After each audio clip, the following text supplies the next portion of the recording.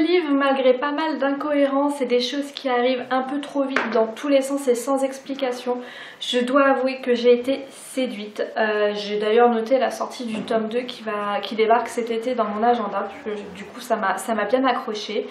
Euh, le livre Sunshine, c'est finalement assez flippant, c'est vraiment angoissant. On ne tourne pas autour du pot 15 ans, très franchement. Au bout de la, euh, la 15e, 20e page, c'est bon, hein, les fantômes existent, ils sont pas sympas, il va falloir faire avec pendant le reste de l'histoire. Finalement, la vraie histoire du livre, bon, hormis tout ce côté fantôme, tout ça, c'est vraiment la découverte de Sunshine. C'est qui est-elle, euh, ou plutôt qu'est-ce qu'elle est en fait, parce que sans trop vous en dévoiler, il y a euh, tout autour de Sunshine une mythologie autour de son identité et c'est franchement super sympa. À l'aide de Nolan qui est le garçon de l'histoire, c'est le beau gosse. Il y en a qu'un, c'est lui, donc n'essayez pas.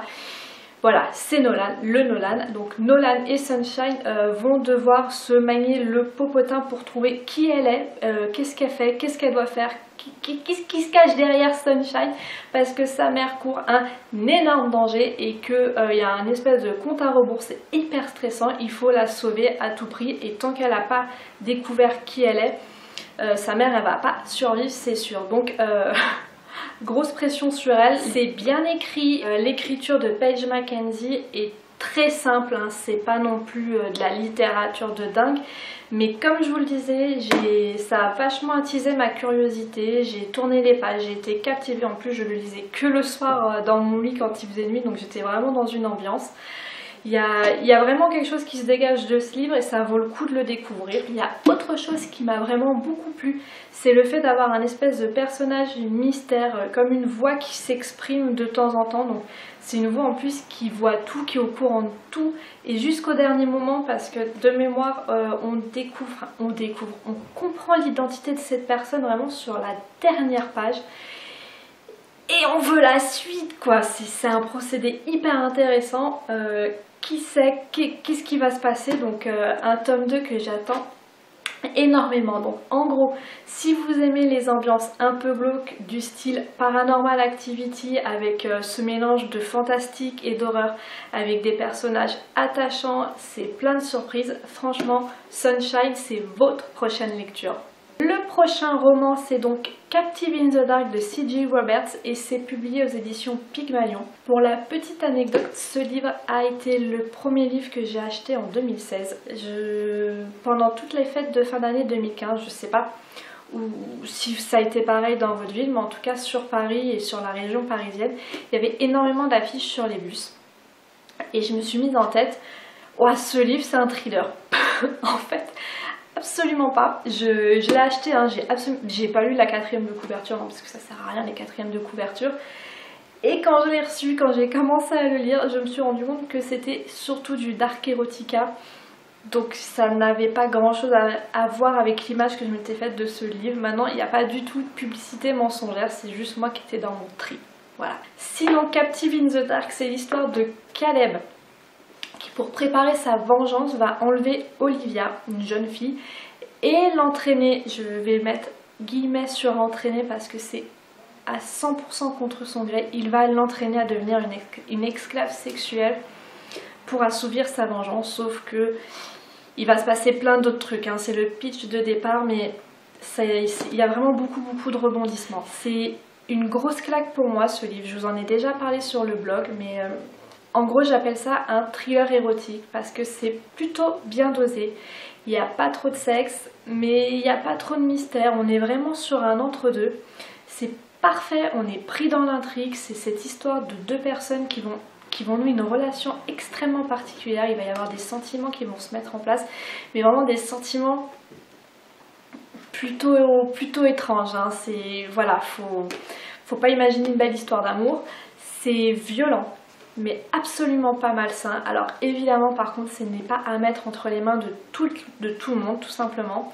C'est pour moi une saga que je vais suivre de très près et je vais terminer avec la petite phrase qui est sur la quatrième de couverture que je n'ai donc pas lu avant de l'acheter qui est le nouveau phénomène qui va vous faire oublier tous les autres. Voilà, c'est parfait pour conclure. N'hésitez pas à acheter un coup d'œil sur ce livre. Alors, le prochain Hmm, je devrais le brûler, je ne devrais même pas vous en parler. C'est c'est euh, la compilation des trois tomes. Je suis désolée que la lumière on voit pas trop. Voilà. Poison, charme, beauté de Sarah Pinborg. Et c'est aux éditions Milady. Alors je suis extrêmement énervée. Parce que pour le moment je n'ai vu que la première histoire donc qui s'appelle Poison. C'est une réécriture du conte de Blanche-Neige. Et bon une réécriture en mode plutôt plus cruel et plus sexy. J'avais énormément d'attentes parce que je trouvais l'idée géniale. Mais alors là...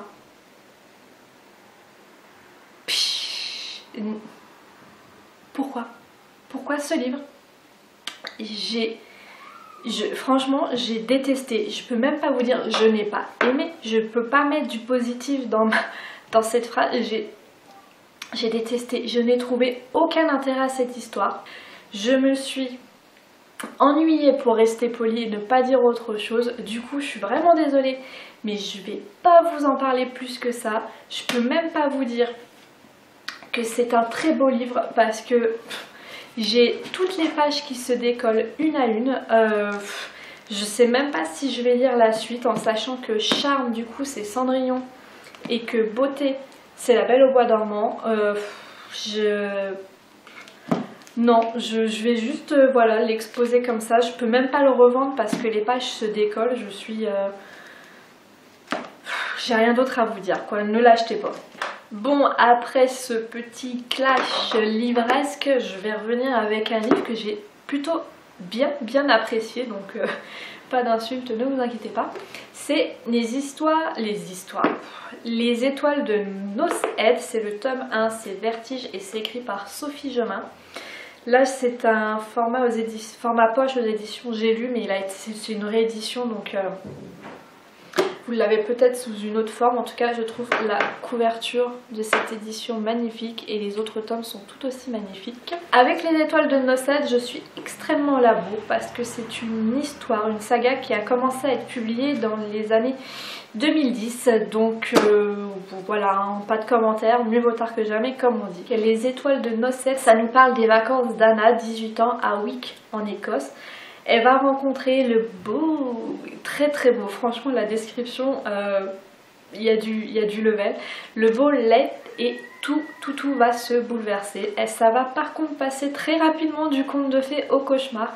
La vie d'Anna va être transformée et les légendes auxquelles évidemment elle ne croyait pas vont se révéler plus vraies que nature. Je pense que j'avais peur de lire ce livre tout simplement parce que j'ai souvent entendu parler de cette saga comme une version tricolore de Twilight. Et même si j'ai, franchement, j'ai apprécié Twilight, hein, je ne crache pas du tout dessus comme beaucoup font maintenant.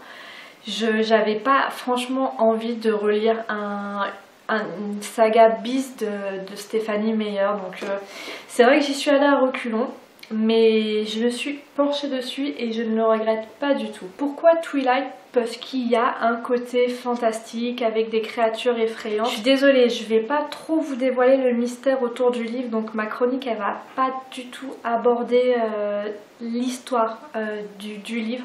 J'ai vraiment envie que vous gardiez la surprise si vous découvrez ce livre pour la première fois, parce que moi je, je, je savais pas de quoi ça allait vraiment parler. Et ça m'a fait plaisir de le découvrir par moi-même, même si finalement au bout de la 15e page on a déjà compris. Ce qui m'a plu dans les étoiles de Nosset, c'est les paysages, ça se passe en Écosse et j'ai vraiment eu l'impression de voyager dans ce pays. J'adore tout le côté mystérieux et toutes les légendes qui entourent ce, qui entourent ce pays. C'est vrai que Sophie Jomain a tout simplement extrêmement bien choisi le lieu de son intrigue, c'était parfait. Et plus que ce voyage à travers les pages, il y a aussi toute cette histoire d'amour, ce vertige de sentiments, donc voilà pourquoi ce tome 1 s'appelle Vertige. C'est une magnifique histoire d'amour entre Anna et Leigh elle est forte, elle est puissante, elle est passionnée. Très franchement, j'ai vibré avec eux quand je lisais l'histoire. J'étais là, mais non, c'est pas possible, il faut, il faut, il faut pas, il faut, il faut, il faut pas. Enfin, j'ai tout simplement, voilà, vibré au fil des pages, au fil de leurs épreuves. C'est, en fait, ce livre a tout simplement ressorti mon côté romantique que je cache plutôt bien normalement. J'ai aussi aimé les personnages secondaires, donc toute la famille d'Anna, dont, sa grand-mère qui est franchement trop mignonne. Il y a aussi toute la famille de Lé. Il y a Sissi, sa meilleure amie. Il y a Gwen qui est la fille un peu bizarre. Il y a Davis, il y a toute une galerie de personnages qui fait qu'on ne s'ennuie pas. Il y a plein de petites histoires secondaires. Donc franchement, derrière ce côté fleur bleue, les étoiles de Nocette est extrêmement bien écrit. Sophie Jomain a une plume très fluide, très, très fraîche. Elle a réussi à dépoussiérer un peu tout ce mythe fantastique de la créature tout en réinventant le mythe pour se l'approprier. Je vais pas vous le cacher, c'est pas non plus ce qu'il y a de plus innovant, mais c'est une lecture euh, finalement hyper agréable et je, je m'achèterai le tome 2, c'est sûr. Je vous ai gardé le meilleur pour la fin avec l'invention des ailes de Sumonk Kid. C'est un énorme coup de cœur pour moi. Ça nous raconte l'histoire de deux enfants que tout sépare. D'un côté, on a Sarah, une fille issue d'une riche famille de Charleston et plus tard, on va aussi avoir sa sœur Angelina, donc on va les regrouper ensemble. Et de l'autre côté, on a Handful. Sarah est tout simplement la maîtresse de Handful qui devient son esclave, une esclave qu'on lui offre le jour de ses 11 ans. Mais Sarah s'est toujours en fait dressée contre ce système inhumain et n'a qu'un but de la première à la dernière page, c'est de faire affranchir Handful qui est tout simplement son ami et absolument pas considéré comme une esclave. Cette histoire est racontée sur une trentaine d'années, donc euh, c'est pas un énorme bouquin mais il se passe extrêmement beaucoup de choses et est racontée à deux voix. Donc un chapitre sur deux, on a le point de vue de Sarah et l'autre chapitre on va avoir le point de vue de Handful. L'intérêt de l'invention des ailes est double parce que derrière toute cette histoire de fiction sur deux filles en quête de liberté, il va y avoir un penchant biographique en fait. C'est l'histoire avec un grand H qui vient se mêler avec l'imagination. À travers ces quelques 500 pages, j'ai découvert la vie et l'œuvre passionnante des sœurs Grimke, donc Sarah et Angelina ce sont deux personnages euh, qui ont réellement existé en fait dans la vraie vie et je vous jure que leur vie est passionnante. Elles ont voué leur vie à l'émancipation des esclaves mais également à l'égalité raciale. Elles se sont également battues pour les droits des femmes. Je n'avais jamais, jamais entendu parler des sœurs Grimgay et pourtant, je vous jure, elles ont été des pionnières et ont inspiré énormément de grandes causes et de grandes personnalités. C'est impressionnant qu'on n'ait jamais entendu parler, plus souvent de ces, deux personnes. Pour en savoir plus d'ailleurs, l'auteur à la fin du livre nous donne une biographie et c'est génial parce que moi ça m'a permis de, de, me rapprocher d'autres ouvrages pour en savoir plus sur les sœurs Grimgay. Donc sinon, L'invention des ailes, c'est un très très beau roman. Je l'ai conseillé à tout mon entourage et je vous le conseille à vous maintenant. Il dépeint une partie de notre histoire avec beaucoup de délicatesse. C'est une écriture très poétique. Ça m'a fait voyager dans l'histoire et c'est juste tout simplement un livre à avoir absolument dans sa bibliothèque. On termine avec ma lecture en cours qui est Célibataire mode d'emploi de Liz Tuccillo.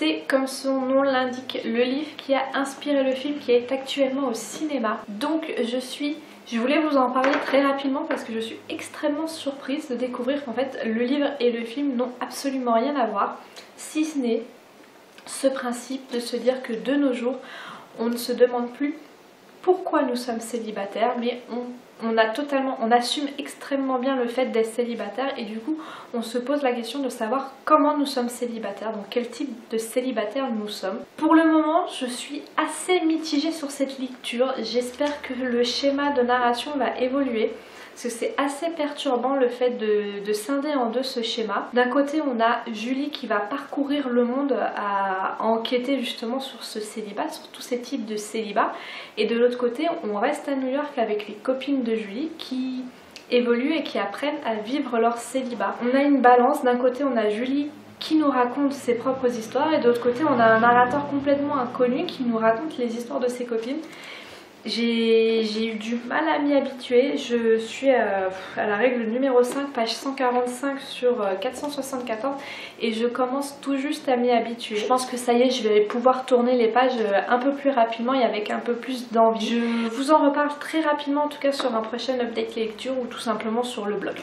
Voilà, du coup on se dit à très très vite avec la deuxième partie de cette update lecture qui comme cette première partie devrait comprendre environ 7-8 livres avec des titres comme La vérité sur Alice, Les Chiens, euh, Girl Boss, le très très très bon, j'ai adoré le très bon Alive aux éditions Lumen. Donc plein de lectures encore à chroniquer et à partager avec vous. N'hésitez pas à me laisser un commentaire si vous avez lu des livres, si vous avez des conseils à me donner. Je suis, je suis vraiment très très mauvaise pour conclure les vidéos, donc je vais m'arrêter là avant de partir dans tous les sens et je vous dis à très vite. Salut salut